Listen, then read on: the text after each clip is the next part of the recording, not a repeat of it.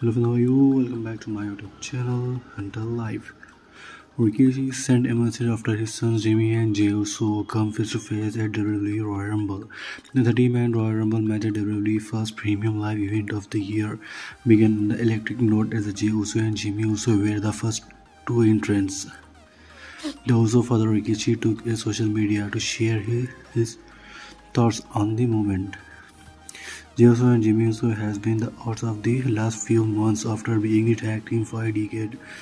The rift between the two starts at the SummerSlam and Jimmy caused his younger brother the Tribal Combat match against Roman Reigns. The elder Uso went on to rejoin the Bloodline and even caused Jey and Cody Rhodes at the WWE Tag Team Championship against Damian Priest and Finn Balor.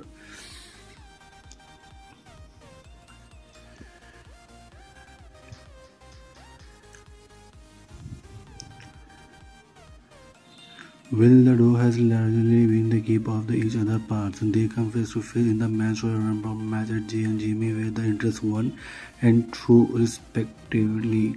Rikishi react the historic moment with the post on Twitter X. Fans fan, we all have another Royal Rumble historical moment it. It's done. The WWE Hall of Famer has been quit involved the bloodline storyline and social media and often share his thoughts on this saga. Many believe that could make a comeback soon when his two sons finally face off in a singles match.